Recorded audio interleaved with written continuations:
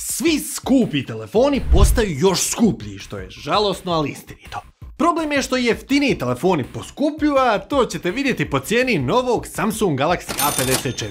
Zato ne odustajte od svojeg postojećeg telefona ako vas još služi, a ako mu je baterija oslabila, uradite što i ovaj genije pa prelijepite akumulator od automobila na njega i problem riješen. Nećete vjerovati koliko mu sada baterija traje. Ovog tjedna tu su i iPhone 14 Pro Max od 100 eura, lista najprodavanijih telefona prošle godine gdje su samo dva brenda prisutna, te brutalno dobra i besplatna igra, ali za promjenu. A promjene su inače jako dobra stvar.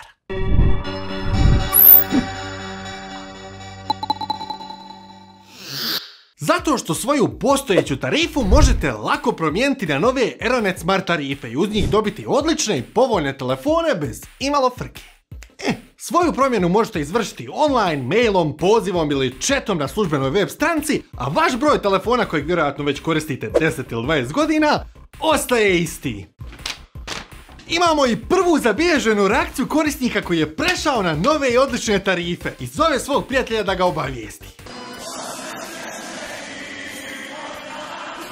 Link je naravno u opisu videa.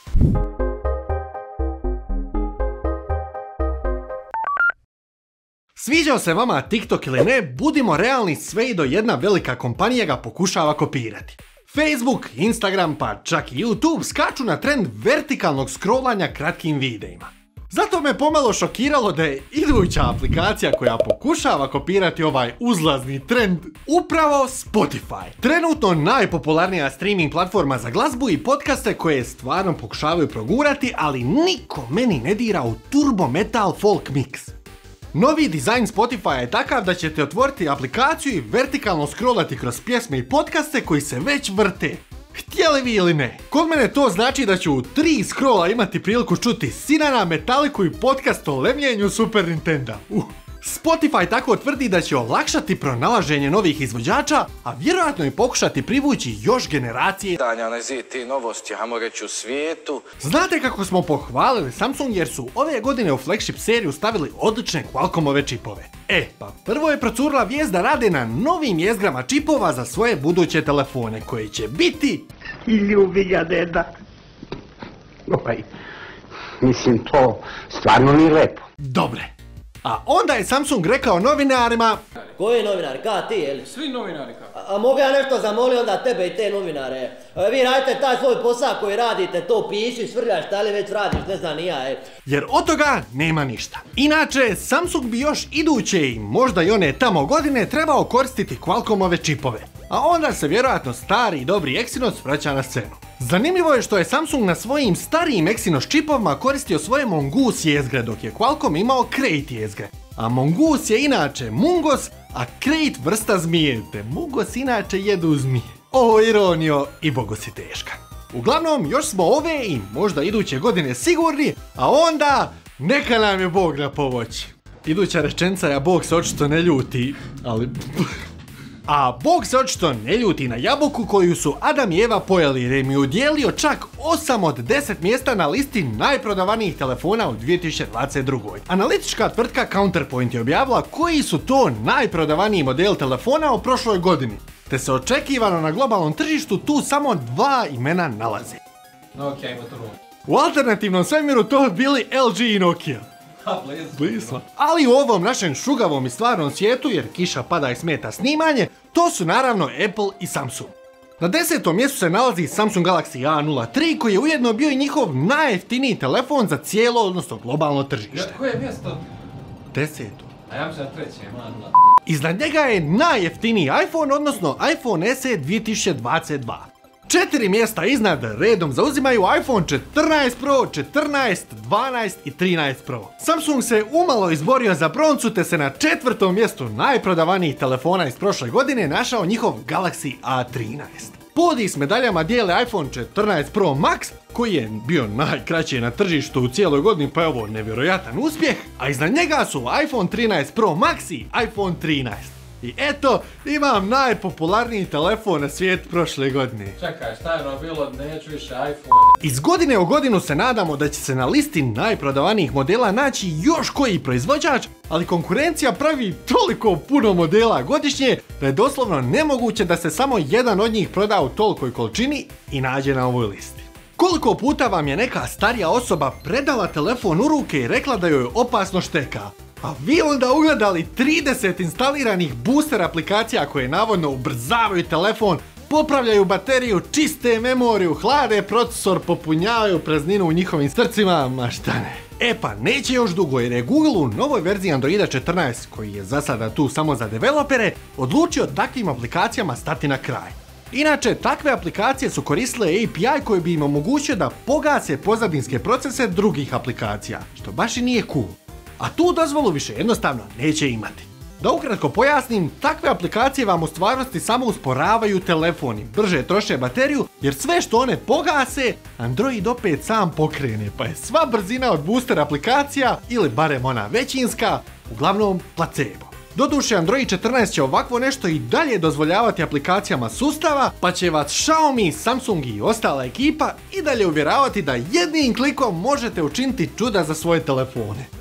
Ne radite to ljudi, molim vas, i brište takve aplikacije. Jer ako se stvarno hoćete poboljšati bateriju, nikakve aplikacije tu ne mogu pomoći kao nešto što može vaša mašta, nešto alata i želja za rizičnim rukotvorevima. Inovativan korisnik Reddita je zaključio da njegov Galaxy A32 5G treba bolju autonomiju baterije. Pa je na istog direktno priključio i zalemio čak 6 Samsungovi 5000 mAh baterija. I onda sve to uredno i profesionalno zapakirao na stražnju stranu telefona. Sada mu je telefon težak oko pola kile, od 0 do 1% se puni 7 sati, a objasnim i zašto, te može puniti i druge uređaje. A korisnik se pohvalio da ga je koristio čak dva puna dana i to vrlo zahtjevno, a baterija još ne pokazuje umor. Doslovno.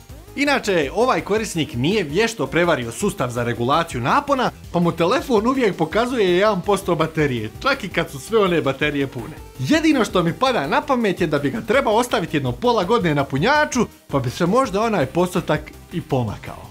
Nakon realno boljih, ali i doduše dosta skupljih Samsungovih flagshipa, red je stigao na njihove jeftine telefone. E, jeftini. Samsung se sprema predstaviti Galaxy A34 i A54 telefone na plus starog kontinenta, te se prema navodnim specifikacijama novi modeli neće baš previše razlikovati od onih prošlogodišnjih. Solidni 120 Hz ekrani, malko novi Exynos čipovi, blago nadograđene kamere i nešto veće baterije neće učiniti preveliku razliku da Bog da bio u krivu. Ali zato hoće cijene jer je poznati, meni baš ne toliko poznati liker Snoopy Tech pronjuškao internet i objavio da će Galaxy A34 u verziji sa 128 GB memorije koštati 420 eura, a s jednako mnogo memorije Galaxy A54 čak 520 eura. U 3 godine cijena midrange Samsung telefona je skočila sa 370 na 520 eura. Ili što bi analitičari rekli, vidi se tu uzlazni trend. Ali zašto bi plaćali 520 eura za novi Samsung ili ne daj bože preko 1000 eura za novi iPhone kad možete za ovaj posljednji platiti samo 10% cijene? Hmm, razmislite. Ne šalim se jer ljudi moji, i14 Pro Max stiže u pomoć sa svima nama dragog i poznatog AliExpressa. Među definitivno istinitim specifikacijama navodi se kombinacija kamera od 48 i 108 megapiksela, 7800 mAh baterija, 16 GB rama i terabajt memorije, te 10 jezgreni MediaTek Dimensity 9000, uz vrlo, vrlo, vrlo navodno rečeno 6,inčni 120 Hz AMOLED ekran i14 Pro Max kojem fali ono fon da bude blizu telefona, očekivano vrti Androida od tri istražnje kamere su vjerojatno dvije fake. Znao sam, znao sam, znao sam da su dvije fake. Pisao sam ovo u skriptu prije no što sam pogledao video disassemblija, znao sam. A u dvostrukom izrezu na vrhu ekrana vjerojatno ćete u stvarnosti samo naći upitnu selfie kameru skoro pa VGA rezolucije.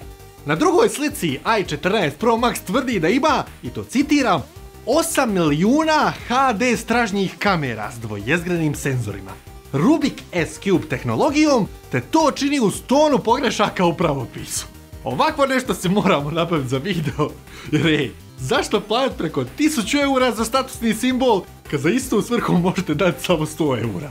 A pogledaj mami, fantastična te relativno nova igra za telefone varljivo glupog imena Car X Street. Ljudi stavite znam da ime glupo, ali igra je stvarno dobra. Te vam nudi da se slobodno vozate po ogromnoj mapi, trkate, te općenito igra jako puno podsjeća na starije Need for Speed igre ili novije Forza Horizone. Grafički igra izgleda jako impresivno, a jedina negativna stvar je ta što je Car X Street za sada jedino dostupan na iOS-u, a navodno uskoro stiže i na Android platformu. Kao što vaše slike neumorno stižu na naš Discord server i na naš službeni mail, na čemu smo vam iznimno zahvalni te nas impresionirate preko već godinu dana svojim fotografskim sposobnostima. A znate tko još impresionira fotografskim sposobnostima? Xiaomi 13, barem tako Josip kaže, kaže skroz solidno sa slikama. A kad ste već tu, pogledajte imate li dovoljno jak telefon, Mislim, znam, nije iPhone 13, just saying. Kao, skontali smo da imaš iPhone, znaš. Kako sad završite epizodu da se jabučica vidi. Te do idućeg puta, čujemo se u komentarima.